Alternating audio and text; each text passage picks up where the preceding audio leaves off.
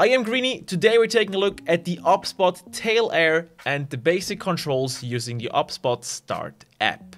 As soon as the OBSBOT app is installed on your device, you can open the OBSBOT app. In case your camera isn't automatically found, you can simply swipe to the left and you click the rescan app. It should take a few seconds before your camera will be found. In order to connect your app to your camera, you can choose between two different connection modes. We can either use Wi-Fi, in which we connect our camera to our local Wi-Fi here, or we use our phone's cellular service to live stream, which means the camera itself will create a Wi-Fi network to which we can join our phone. In my case, I'm going to use mobile data, so I change the tab and then I simply hit the button. Once the phone has connected, we get our preview image and the basic layout.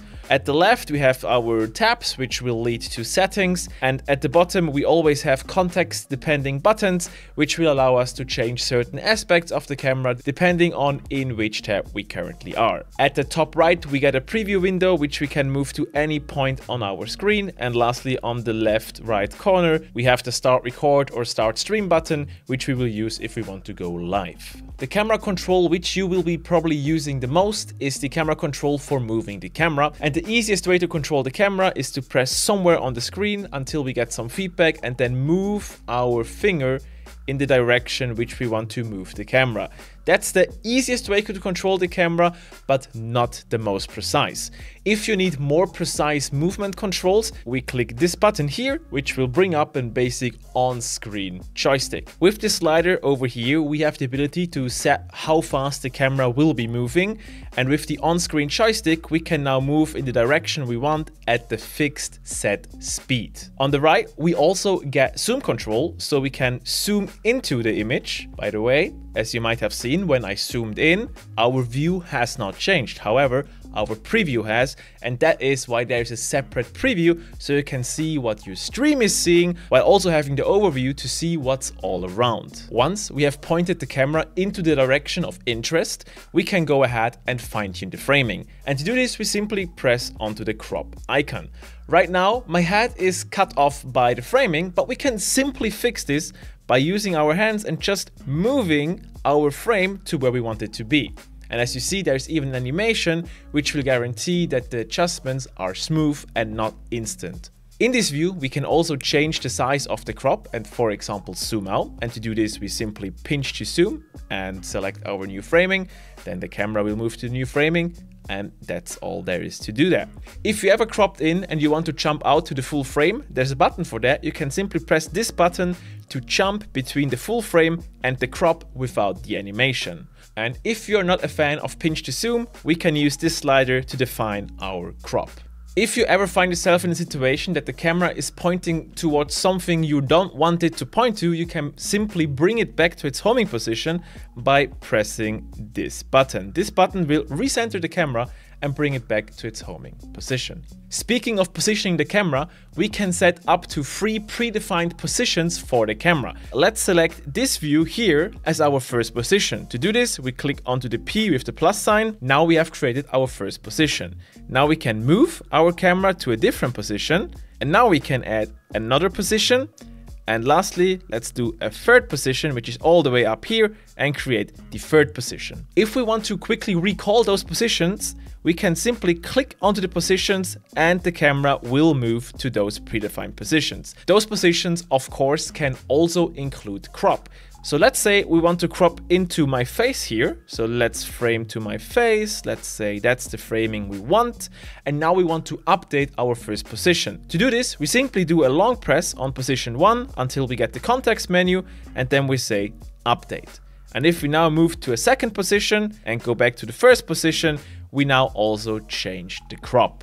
Of course, if we want to delete the position, it's as simple as doing a long press and saying delete. One more basic camera setting which might become handy is focus. So if you see that something on your screen is not in focus that you want to be in focus, we can simply press on the thing we want to have in focus and the camera will use its autofocus and focus on this thing. If you ever want to change the behavior of your focus from autofocus to manual focus, we can do this by going into the camera settings tab. Most of the settings in here we will not discuss in this video. There will be a video for the more advanced settings of the OBSBOT Tail Air, which will be linked somewhere in this video. But if we want to change our autofocus to manual focus, we can do this by pressing onto this button, the AFC, which is autofocus continuous, and we can change it to autofocus single or manual focus.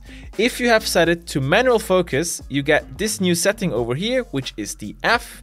And if you press that, you will get a focus wheel, which allows you to manually set the focus of the camera. I assume that most of you will be using either autofocus single or autofocus continuous. The difference between the two, autofocus continuous, the camera is constantly autofocusing on the thing it thinks should be focused on, and with autofocus single, you press on what you want to focus, the focus is set once and the focus will stay and it will stay in that focus setting until you press the next time. Alright, that's it for the advanced manual camera settings. Let's go back to basic settings like the AI gesture controls. The OBSBOT Tail Air is an AI powered camera which supports pattern recognition, which means that you can tell the camera to do certain things based on what your hands are doing. If you want to enable or disable those gestures, we can do this by pressing onto those three buttons buttons to get into the tail air menu. And then we go to AI and gesture controls. In here, we can enable or disable the single gestures and we can also define how much zoom the zoom gesture is doing, as well as if we want to flip the direction of the dynamic zoom. Dynamic zoom simply means that when we do this, that this means zooming in, or if you flip it, this means zooming out. My tip to everyone who's starting out with the OBSBOT Tail Air, get yourself 10 minutes, sit down with the camera and go through all the AI gestures the camera has.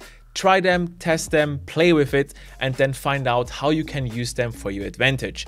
If you find that those gestures are not worth your time and you don't want to have them and use them, you can still disable them, but understanding how they can help you is actually quite nice. In the same menu in which we just found the AI settings, we find the audio settings. Note here that the OBSBOT Tail Air is always using the internal microphone unless you tell it not to and plug in a microphone.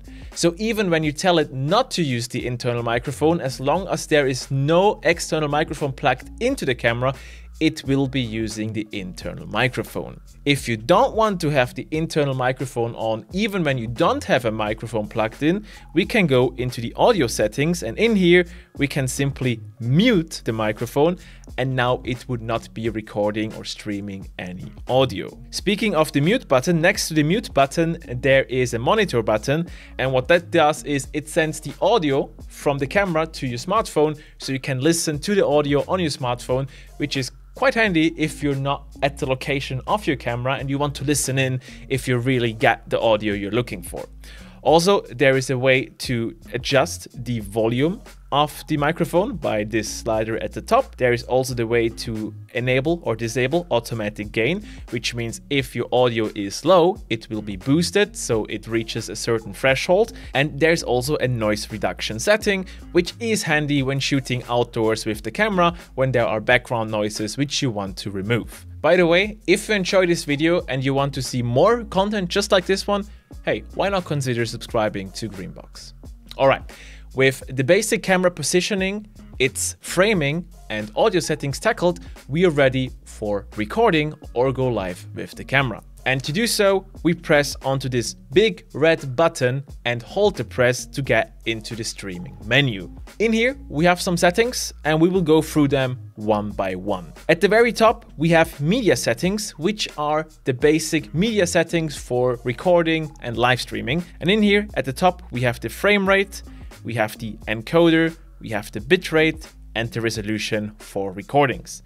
Below that, we have advanced settings for the NDI or RTSP streaming, which again is the encoder, bitrate, and resolution. And if you're planning to use the OBSBOT Tail Air, as an HDMI camera, at the very bottom there's also the HDMI output settings. Assuming you have inserted and formatted an SD card into the Tail Air, we can now start recording by simply hitting the start button at the top right. And by doing so, we get back to our overview screen and we now have an indicator that we're recording to our camera and there is a new button which is on the screen right here, as well as the stop recording button just next to it. And this button can be very useful for you if you're recording longer videos with key moments that you need to quickly find in the future. So if something happens, which is a key moment, you simply press this button and this will set a marker to the video file. If we now stop recording and if we go to our media, we see our recording. And with the recording, we also see the moments in which we press this button. This allows us to either export this as a frame, as an image to our camera roll, or just make it easier to find it later on when we're editing the video. Speaking of downloading the photo, we can, of course, in our media library, click on select, select the video clips we want to download to our camera, and simply hit the download button. This will add the video to your phone's camera roll. Of course, you can also delete the files or copy the files to your computer by using the SD card and inserting it to your computer. With media management and recording tackled, let's now talk about how to live stream from the camera without the need for a live streaming computer. To do this, we again press and hold the record button to get into the menu. And next to the recording settings, we have some live streaming options. In fact, there are predefined live streaming presets for some live streaming platforms like YouTube or Twitch. The only thing you need to do if you want to go live on those platforms, you simply hit the login button, enter your login credentials, and you can start streaming to those services from your camera. However, I want to show you how to manually set up a live stream if you're going live using RTMP streaming. To do so, we click onto the RTMP button, and as you see, I have already set up two live streams, and if you want to set up your own live stream, you simply press the Add RTMP Destination button, and then you will be greeted by this overview. In here, you can define a simple name for the destination, so you know which destination is which, then you can enter your RTMP URL as well as your stream key. And those two settings you usually get from the service you want to stream to somewhere in the dashboard or around the live streaming studio. So let's assume I want to go live on Restream. So I select this. And now if I would go live, I would go live to Restream. But before we do that, there are two more settings I want to discuss here. At the very top, we now have a resolution setting, which allows me to change between full HD and HD for the live stream, as well as we have the bitrate setting, which allows us to set the bitrate depending on your internet connection or the limitations of the live streaming service you want to live stream to. For example, on Twitch, you're not allowed to stream with a greater bitrate than 6000 kilobits per second.